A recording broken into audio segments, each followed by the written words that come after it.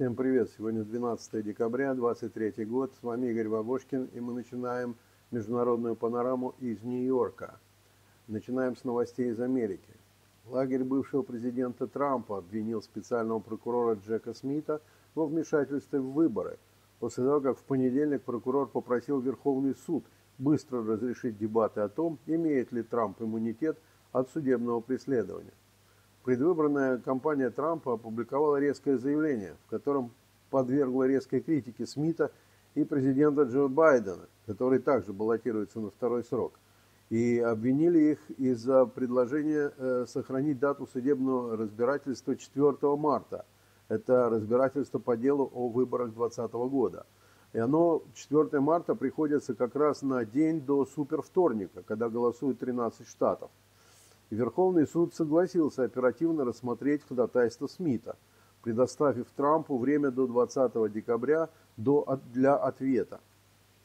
Ну, как э, написали э, достаточно грубо в команде Трампа, приспешник Байдена, ненормальный Джек Смит, настолько одержим идеей вмешательства в президентские выборы 2024 года с целью помешать президенту Трампу вернуть себе овальный кабинет – что президент умеренно, уверенно готов сделать, э, имеется в виду забрать овальный кабинет, что Смит готов попытаться обойти апелляционный процесс, помчавшись в Верховный суд.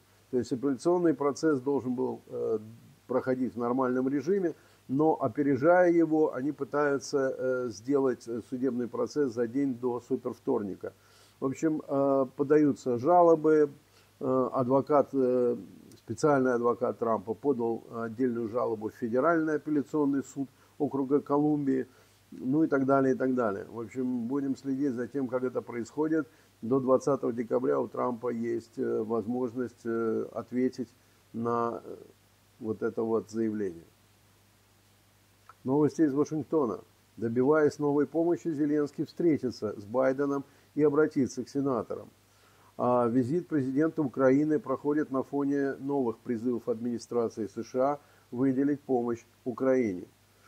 По словам Кирби, президент Байден четко даст понять Зеленскому, что Белый дом твердо стоит на своем вопросе о выделении дополнительных средств. Администрация Байдена призывает Конгресс одобрить запрос Белого дома на выделение почти 106 миллиардов долларов для оказания помощи Украине и не только. Сюда входит помощь Израилю и другие нужды, связанные с безопасностью, э, в том числе охрана южных границ. В понедельник администрация направила срочное предупреждение о необходимости одобрить военную и экономическую помощь Украине, заявив, что без нее военные усилия Киева в борьбе с российским вторжением могут застопориться. Не политические новости из Америки – Отсидевший по ошибке 27 лет американец потребовал через суд 50 миллионов долларов. Мужчина, по ошибке отсидевший 27-летний тюремный срок, подал в суд на город Нью-Йорк и двух бывших детективов. Мужчина потребовал компенсацию 50 миллионов за причиненный ему психологический ущерб. Мужчину зовут Томас Малик, и он заявил, что по причине, по причине распутной и безрассудной культуры правоохранителей – он неправомерно провел почти три десятка лет в заточении, что серьезно отразилось на его психологическом здоровье. Ну, в общем-то, 27 лет в тюряге, это надо себе представить. Мужчина, которого недавно оправдали за ужасное и кровавое убийство служащего Гарри Кауфмана, э, который продавал жетоны в метро, и это было в 95 году, он в понедельник подал в суд на Нью-Йорке на двух детективов. Вместе с Маликом по тюремному сроку приговорили еще двух мужчин, также десятилетия просидевших в тюрьме. И в 22 году прокуратура сняла обвинения с заключенных со всех трех и постановила, что вынесенные им приговоры основываются на ложных показаниях и недостоверных доказательствах. Так что, видимо, ребята получат свои деньги. Но, наверное, лучше было бы им не сидеть. Что происходит в мире?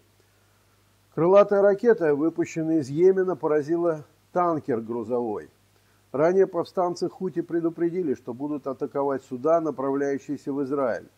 И крылатая ракета наземного базирования, выпущенная из подконтрольного повстанцам Хути района Йемена, поразила коммерческий танкер. Удар привел к пожару и повреждениям, но, к счастью, обошлось без смертельных случаев. Эсминец ВМС США Мейсон находился рядом и оказал помощь. В субботу Хути заявили, что они будут атаковать все суда, направляющиеся в Израиль, независимо от их национальной принадлежности, и предостерегли все международные судоходные компании от работы с израильскими портами. А в это время в Израиле переговоры между Израилем и Хамас о новой сделке по освобождению заложников могут начаться на следующей неделе. Так, по крайней мере, сообщают палестинские источники. При этом Хамас требует полного прекращения огня и, как они говорят, не закрывает двери для гуманитарного перемирия на новых условиях. Какие-то условия пока не сообщается. Израиль тем временем продолжает военную операцию в секторе Газа, нанося удары по инфраструктуре боевиков. И он отвергает призывы ряда стран и международных организаций о свертывании своего наступления. Израильская авиация нанесла авиаудары по городу Рафах на юге сектора Газа, и жертвами, по данным местных властей, стали по меньшей мере 20 человек. Террористы или граждане пока неизвестно. США дистанцируются от применения фосфорных бомб, в чем обвиняют сегодня Израиль. Представитель Совета национальной безопасности Кирби накануне заявил, что США встревожены информацией о применении Израилем американских боеприпасов с белым фосфором. Объемы гуманитарной помощи, которая поступает в Газу через э, КПП «Рафак» на границе с Египтом после окончания перемирия сократилась в пять раз. Если раньше через пропускной пункт в Анклав въезжало 500 грузовиков ежедневно, то начиная с 1 декабря только 100.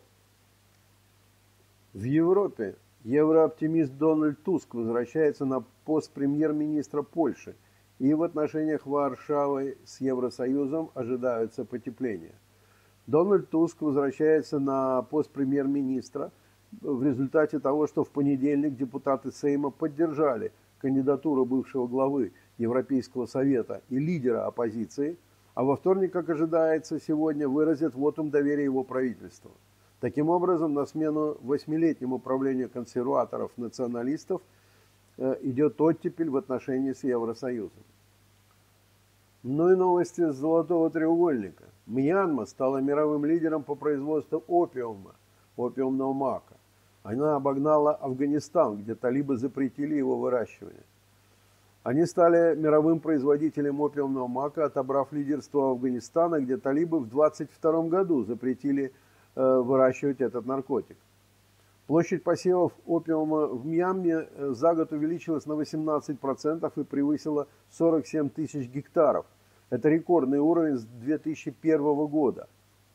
Площади э, увеличились в штатах Шан, Чин, Качин, где урожайность выросла до 16%, то есть 22, почти 23 килограмма с гектара. Как полагают эксперты, производство опиумного мака в стране продолжит расти. К его выращиванию фермеров в отдельных районах подталкивает политическая, социальная и экономическая нестабильность, которая установилась в Мьянме после военного переворота в феврале 2021 года – мне довелось побывать в Мьянме до переворота. А, ну, в общем, достаточно бедная страна. И был я там в музее опиума. Довольно интересно. А, этот продукт там существует издавна. В общем, оттуда он и двинулся по миру. Да, а, ну, что можно сказать? Возрождаются традиции, в то время как э, в Америке разрешили марихуану, ну, может быть, э, и до опиума скоро докатимся. На этом сегодня все. С вами был Игорь Бабочкин из Нью-Йорка. Международная панорама на 12 декабря 2023 года из Нью-Йорка.